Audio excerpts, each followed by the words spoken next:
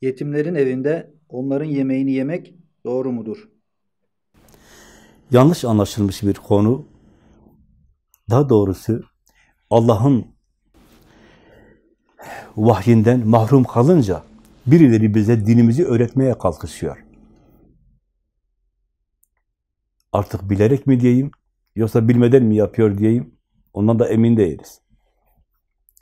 Allah ayet-i kerimede buyuruyor ki, yetimlerin mallarına haksızlıkla yaklaşmayın.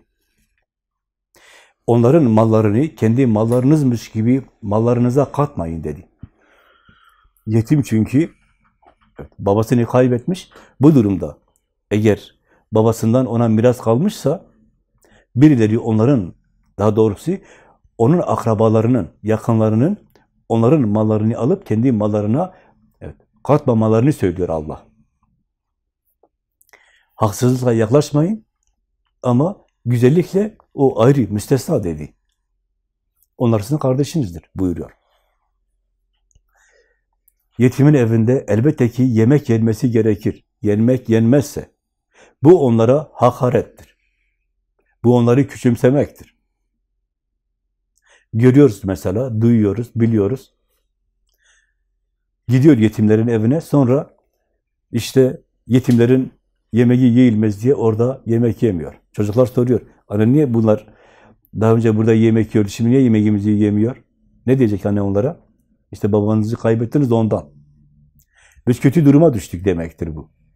Bu onları üzüyor. Evet, yetimlerin evine gittiklerinde onlara yetimliğini, yetimliklerini hissettirmemeleri gerekir. Yemesi de gerekir, içmesi de gerekir, gülmesi de gerekir, onları sevmesi de gerekir. Bununla beraber onları ziyaret ederken mümkünse, gücü yetiyorsa giderken ellerinde bir şeyler götürüp onlara ikramda bulunsun. Hem kendisi yesin, hem onlar yesin. Ya da bir sefer iki kilo şeker götürsün, 20 sefer gidip orada çay içsin. Bak yine onların malını yememiş olur. Ama onların malı yenmez demek, onlara hakarettir. Onlara karşı saygısızlıktır. Onları küçümsemektir. Yetimin sahibi Allah'tır. O, onları incitmek Allah'a gider. Yetimin gönlünü incitmek, evet, Allah'ı incitmek demektir. Bu kadar tehlikeli bir şeydir.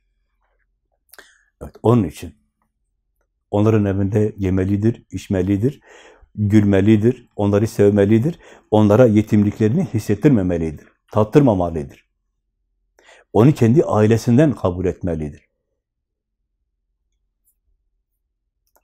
Buna beraber böyle yetimin evinde bir şey yenmez diyenlere söyle bakayım demek lazım. Hangi ayette Allah böyle söyledi? Ayeti oku bakayım Allah ne söylemiş?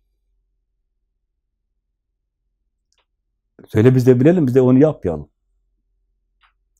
Yoksa bu sizin kendi kendinize ürettiğiniz dininiz midir? Yoksa hükmü siz mi veriyorsunuz? Evet, böyle olmaz. Evet, inşallah kardeşimiz e, anladı ne demek istediğimizi. Kardeşlerimiz böyle yapmalıdır.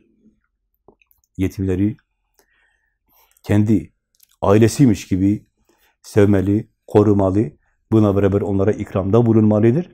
Buna beraber onların ikramını da kabul etmelidir. Allah onların ikramını kabul etmeyin demedi. Onların mallarını haksızlıkla kendi malınıza katmayın dedi. İkisi birbirinden çok farklı şeylerdir.